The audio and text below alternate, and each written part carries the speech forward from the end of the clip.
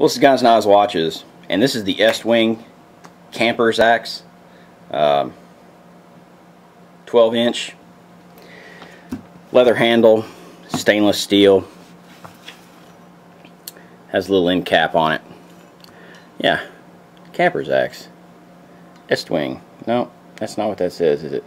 I gotta get bifocals. Gonna get my bifocals redone. Anyway, the deal is yours is not going to look like mine. Hopefully it's going to be a lot newer. I bought this when I was a teenager. Uh, they haven't really changed at all since then.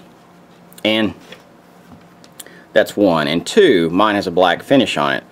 What we were actually doing is we coated a few of these uh, with different types of finishes. I think this one is actually uh, Duracoat. And it's one of their uh, stronger Duracoats. I can't tell you the one. It's been a few years. I probably made a video on it when I did it. In fact, I know I did. And, uh, and it's held up really well. What do I like about it? It's like a, a big survival knife. It's almost like, you know, that type of thing. It's a pry bar. Except it's a pry bar that chops very, very well because you, of course, you have your concentrated weight there on the end. what else do I like about it? It has a very thin blade which means it digs into things really easily. It, you can bury this thing deep really uh, without too much effort. Now, I'm going to tell you real quick, I actually don't use this thing as a typical hatchet splitting wood and cutting wood and this, that, or the other. It cuts wood all right, but it cuts a different kind of wood. What I use this uh, hatchet for is actually for cutting roots uh, when we're out on the job site and uh, I'm helping uh, some of the people who are out there working. And uh, you know it's better me doing that than just sitting there watching them work. And it helps them out and uh, they get a free laborer and then they get to send me the bill. Isn't that a kicker? Um, but I use this actually for hitting those roots cutting them off uh, when we're walking up a ditch um, when we're setting underground lines, uh, when a dozer goes across a piece of property and we're doing, um, we're taking up some trees or doing, you know, this, that, or the other. Got some roots sticking up. And that thinness actually really helps me out there. I could only imagine what it would do for people that actually use this thing for its intended use. But that's why we carry it in the truck. Of course, I, uh, I've treated, treated my sheath very well over the years. Um, like I said, I bought this thing when I was in high school. Hadn't really changed much, except now the sheath is, is made in uh, Taiwan, and mine uh, don't have any of those markings on it it just says uh, Estwing right there. Number one. Anyway, I think the new ones sit there and say made in Taiwan or something like that. Why am I talking about this? Well, the reason I'm talking about this is because getting back into reasonably priced tools especially for beginners to get out with or people that aren't that experienced.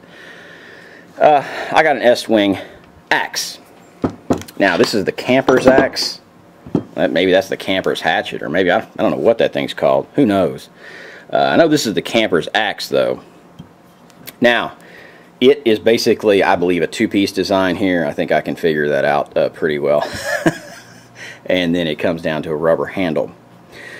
What do I like about this? I like its weight. Uh, I like its uh, that it is, unlike the Gerber, is not made out of a polymer. And no matter how high you make your resin content uh, to make that polymer flexible, you're still going to lose uh, some of its uh, flexibility when it gets very cold. And you have the possibility when you strike it wrong or something this, there, or the other that you're just going to break it. The Estwing, we're going to see how that works. Uh, one big thing about this Estwing is it's made in the USA. Of course, you're seeing that it, it upside down and backwards because, hey, listen, I'm left-handed. It's just the way it works. Uh, what do I like about this also? I like the thinness of the blade. I think that's going to really dig into things really well. Um, I like, you know, a lot of things. What I don't like about it is this handle. I wish this handle was just a little bit longer uh, by maybe an inch or two. Why is that? Because I do a two-handed operation here and I'll just show you my hand is actually down on the bottom and I put my other hand up and I don't. My hands are touching and I've got that much. I really, when I'm working, I don't like my hands just rubbing on each other.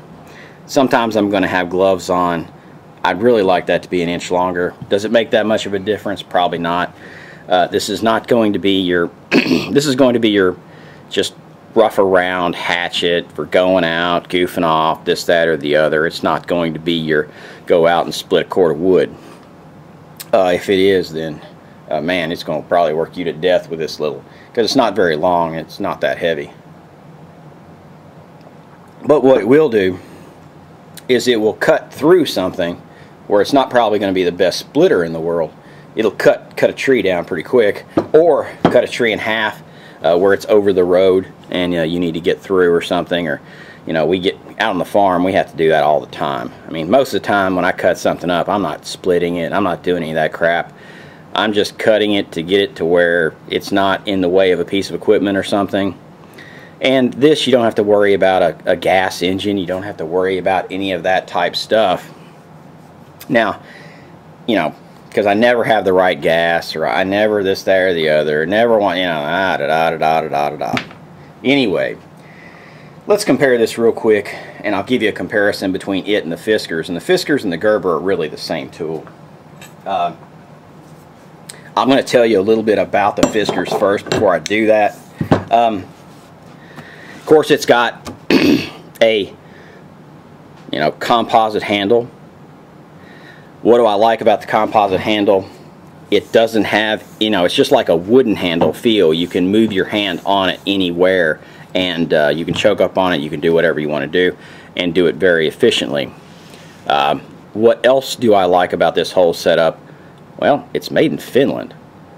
At least it's not made in China. You know, those Finns, they know what they're doing. I mean, I'm not ever going to bash their uh, ability to do things. Not any way, shape, form, or fashion. One of the downsides, when I bought my Fiskars and my Gerber stuff, I bought them at a closeout deal from, I think, Smoky Mountain Knife Works. They, they bought in just a ton of stuff. And I think I got all mine for about 20, 25 bucks. They're a little more expensive now.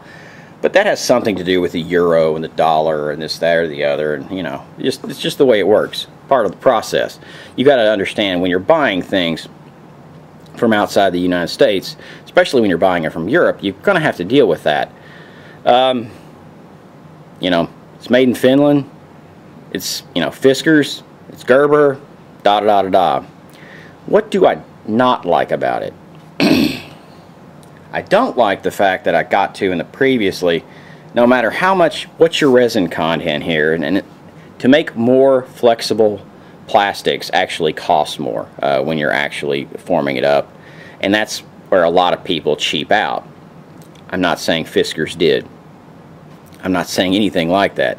I'm just saying that at cold temperatures, below freezing, you know 20 degrees 15 degrees 10 degrees for some reason every damn time it's there I'm about doing something you know nothing I'm never going to get a tree across the road or something on a beautiful day and the sun's out and it's coming down and I'm just feeling like at one with nature no it's always got to be that time where the, I think nature's going to wants to kill me um, but so there's going to be there's going to be that point is it durable? Probably. Uh, haven't used these. I'm going to use them side by side. They're really about the same length. What do I not like about it? Other than just the handle material, but you know, it's a, it's hey, a lot of people like them, so I'm not going to sit there and you know, and I'm not the end all be all expert on these things. In fact, this is not my area.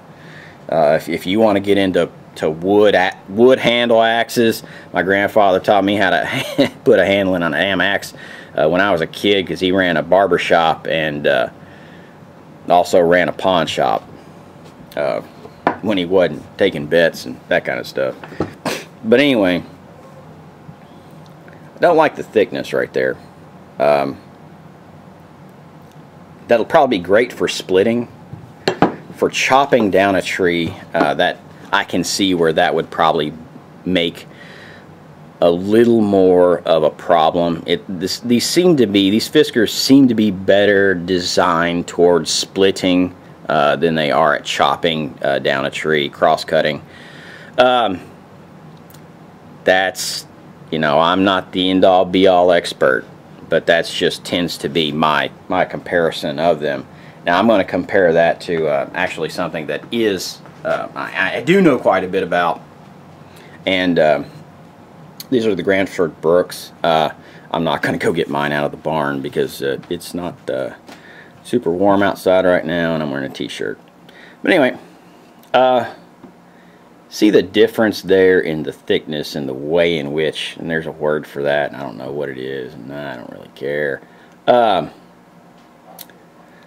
the Gransfors Bruks comes back, stays really thin, and then widens out uh, around the handle to give enough wood through there for it to have strength. Now this is an American felling axe. We're not going to compare a big American felling axe uh, to to these these smaller, uh, more portable, lightweight uh, units.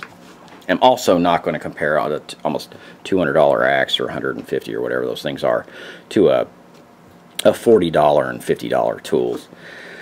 But I was just giving you a comparison. Uh, now, that's my honest opinion. If I find out anything by going out in the field that's any different, I'll get back with you. If I don't find, just from me using it, that it is honestly any different than that, uh, then probably I will not make an update video. But just from understanding the tools, how they're made, what they're done, this, that, or the other, and just understanding a little bit of polymer chemistry and uh, just engineering mechanics as far as the way in which the uh, blades are actually uh, formed, you know, that's my gut reaction. Another thing I don't like about the Fiskars is if you do break the handle, because I have never seen an axe that had it its original handle yet, uh, you will break them eventually if you use them enough. You can't repair it. Now you can't repair the Estwing either, um, but we will see how you know this type of jointery actually works um, in a in a real and practical application. Am I, now, am I going to tell you that I'm going to do an actual study on it with multiple samples and this, that, or the other, and get a bunch of people going out splitting wood? No, but I can give you an honest to God uh, real world representation because I'm going to tell you this is going to start going out on job sites, and we're going to start. Because I'm getting older and I really don't want to bend over, which is the point. Uh, after I'm done splitting some stuff and doing some stuff. This is actually going in my truck, and we're going. It's going to start cutting some roots because uh, uh, forty dollars really isn't that big a deal when you get the extra length on that handle and. Uh, because I really like that thinness of that blade. It gives going into uh, the dirt and everything where these roots are that have to be cut. Uh, it gives very little resistance and does a very good job and in the end of the day it only matters what the job it does what it's designed for what you can use it for. And in the in, in of my day it doesn't make you any money. Can you do more work in that day because of the tool? This is Guns Knives Watches and have a good one